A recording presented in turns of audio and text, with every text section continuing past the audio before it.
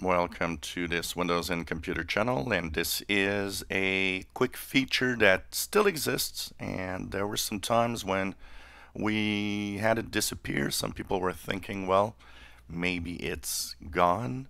Well nope it's still there and it, you can still use it and it's actually a great tool. It looks like the um, feature in Mac computers where you can actually back up your files and it's the uh, file history feature. So when you actually want to back up Windows and your files on your hard drive, there is still this really nice tool in Windows 10. In your settings, you go to Update and Security. On the left side, you will have a backup. Now, when you click here, it says backup using file history, which means you can now click add a drive. It's going to search for external drives that you might have plugged in. It doesn't work with uh, USB thumb drives. You really need to have a hard drive and add that drive to the computer.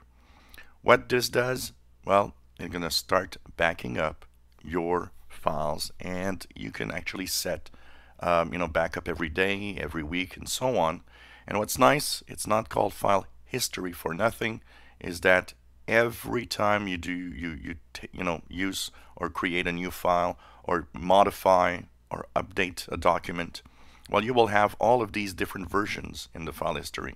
Because when you'll go back you'll be able to actually use it and have it used by date. So you can say oh well I remember that on March 30, 30th there was a a document that I want to have that version uh, it's been modified since. Well, you can go back in your file history hard drive with this tool. And of course, you can, um, at that time, check out files that were modified or files on a specific date. It keeps a certain amount of time, typically a month, depending on what you have space available, and it will erase at some point some older uh, file history. So basically, if you get your drive that gets quite full, it will start actually deleting the older file histories that you have and replacing them with newer file history backups. So it's an interesting tool. It works well. It's uh, created in a way that it's easy to use because it has the same file structure as your file explorer has on your hard drive. So you can actually easily go back to backups of a certain date and then get the files that you want. So don't really no need for any um, software of any kind that you add to your PC. Uh, file history actually works really, really well.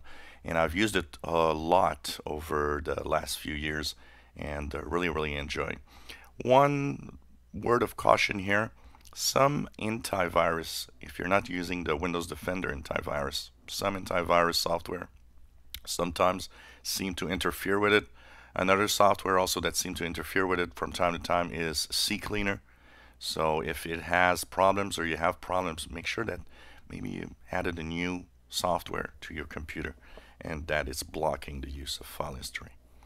So uh, great tool to back up your PC on an external hard drive. Once again, simply go to your settings, go into update and security, go to backup on the left, and you will have file history. All you have to do is plug in the drive on the USB port, then click add a drive. It will search for the drives that are available and let you choose a drive that you can use. If it doesn't show up, your drive is either not formatted properly or is not big enough to be used as a file history backup drive.